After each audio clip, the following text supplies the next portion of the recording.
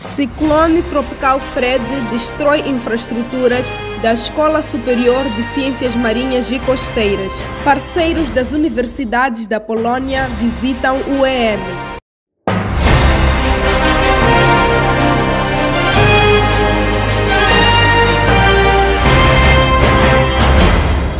Olá, bem-vindos a mais uma edição do Jornal da Comunidade. Ciclone tropical Fred destrói infraestruturas da Escola Superior de Ciências Marinhas e Costeiras. A Escola Superior de Ciências Marinhas e Costeiras, sediada em Quelimane, sofreu danos materiais avultados resultantes da passagem do ciclone tropical Fred, que fustigou a cidade de Quelimane entre os dias 11 e 12 de março passado.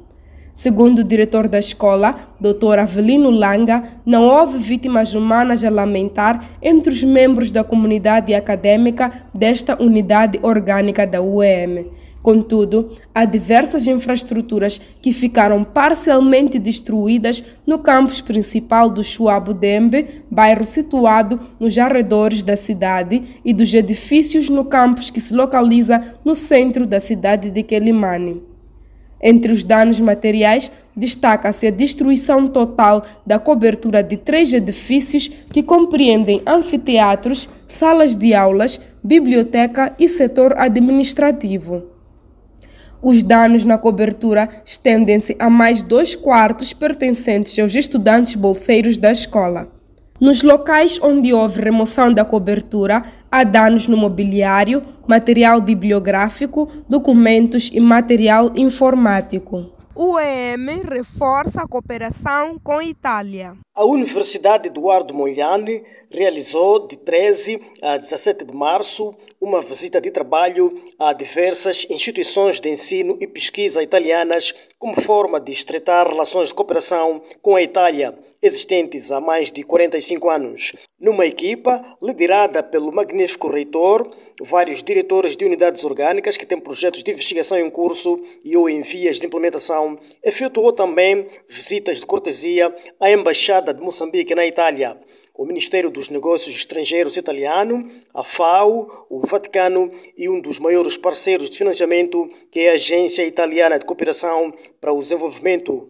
Durante as reuniões e audiências, o magnífico reitor reiterou o fato de a UEM, no âmbito do seu desidrato de se tornar numa universidade de investigação, contar com parcerias estratégicas de instituições italianas numa perspectiva de continuidade, incremento de projetos conjuntos e diversidade de áreas de cooperação.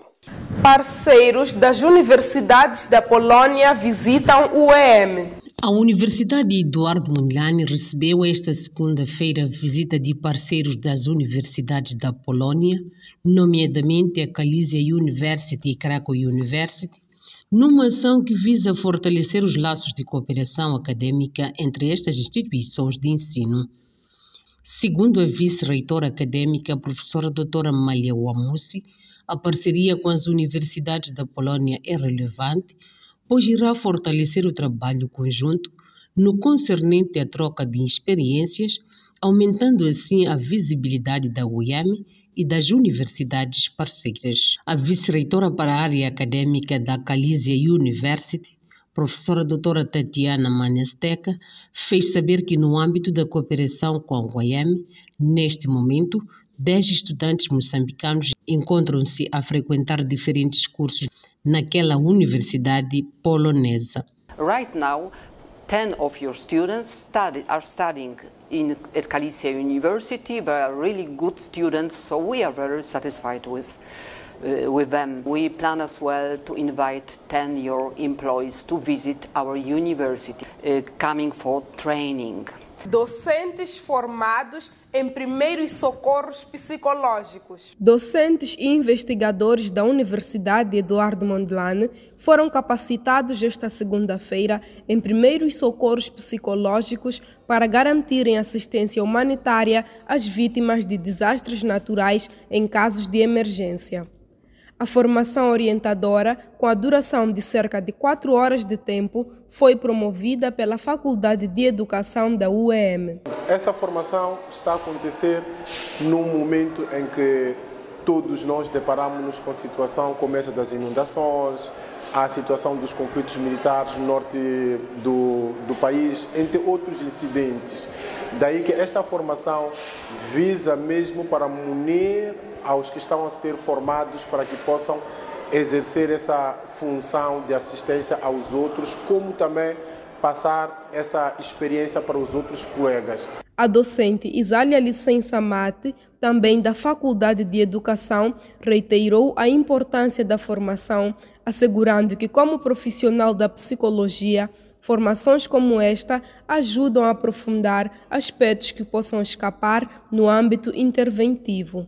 Apesar de ser profissional de psicologia, eh, no âmbito interventivo ah, há aspectos que nos saltam, então formações como estas específicas nos ah, ajudam a aprofundar. Penso que aqui consigo adquirir alguns conhecimentos que me permitam ah, saber lidar com situações de crise, catástrofe e adversidade. Para além de docentes e investigadores, a formação contou com a participação de estudantes de pós-graduação em terapia familiar e comunitária da Universidade Eduardo Mondlane. Especialista defende intervenção constante da medicina desportiva.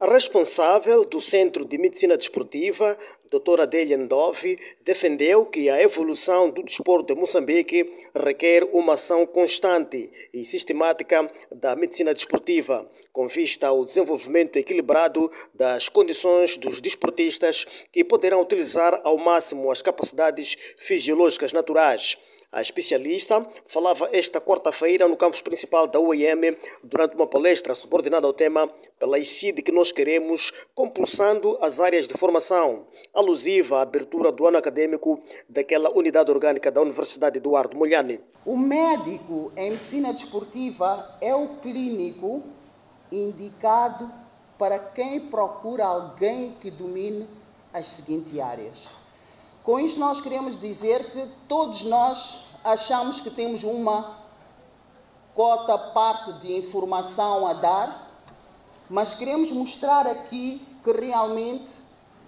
temos que ter formação, temos que ter qualidade para podermos realmente beneficiar na ajuda em que as pessoas nos solicitam. Portanto, tem que ser uma pessoa que tenha capacidade de prevenção, diagnóstico, tratamento e reabilitação de lesões, quer elas agudas ou crônicas, que estejam associadas à prática desportiva.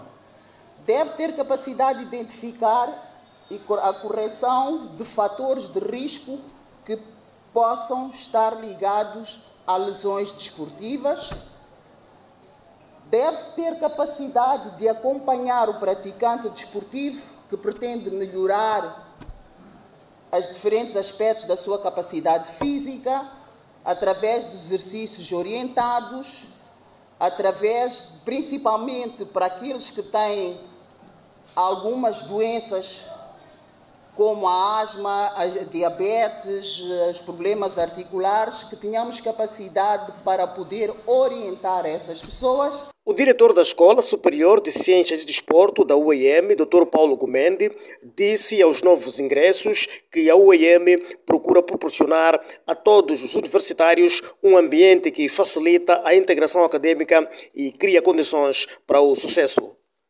Papel importante cabe aos colegas mais velhos, que estão em excelentes condições para vos apoiar nesta integração mas tal só deve acontecer através de meios e ações adequadas, de preferências articuladas com a escola, não sendo toleráveis processos pouco dignificantes ou causadores de prejuízos físicos ou psicológicos.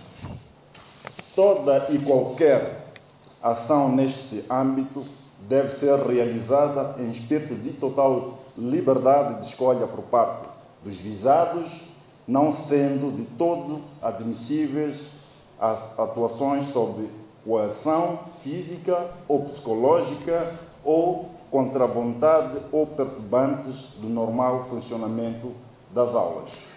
A cerimônia de abertura do ano acadêmico contou com a participação dos representantes do governo, do Instituto Nacional do Desporto, ex-diretores da ICID, associações desportivas, bem como dos estudantes daquela unidade. Futebol 11 junta reitor e diretores das unidades. A UEM acolheu no passado fim de semana um torneio de futebol 11 envolvendo dirigentes ao mais alto nível da instituição, nomeadamente o reitor, diretores de órgãos centrais, faculdades e escolas da cidade de Maputo.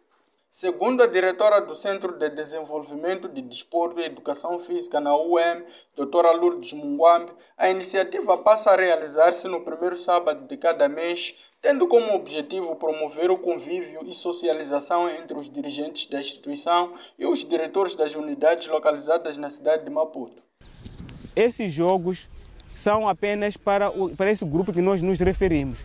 Para os restantes, os docentes, o corpo técnico administrativo e, e, e, e, os investigadores fazem o torneio, portanto, o campeonato deles de futebol de salão. Jogam no pavilhão gimnasio desportivo. Os estudantes têm outro campeonato. O estudante tem todas as modalidades. O futebol, o basquete, o voleibol, o atletismo e o futebol de 11, um organizado. Então nós temos neste momento já três grupos que realizam essas atividades, que é o futebol para a direção da universidade e os diretores, que é o, o, o, campeonato de futsal para o corpo técnico administrativo, investigador e docente. Depois temos o campeonato dos estudantes. Então está tudo organizado de forma que toda a universidade esteja envolvida em atividade esportiva durante eh, o ano, portanto, o, o, o, que, que decorre. No sábado passado, o evento realizou-se no Complexo Altinoro Pereira, das 7 às 9 horas. Guardas do SEDAS recebem novo uniforme. Os diretores da Faculdade de Agronomia e Engenharia Florestal da UEM e da DAPDI procederam à entrega de uniformes aos 20 guardas do Centro de Desenvolvimento Agrário de Sabi. O kit do uniforme entregue é constituído por 40 calças, 40 camisas, 40 chapéus, 40 pares de botas de cano alto, 20 cinturões, 20 pares de meias, 20 capas de chuva e 20 pastas de costas. Na ocasião, os diretores transmitiram recomendações aos guardas para que se mantenham sempre bem aprumados e que dignifique o nome da UEM.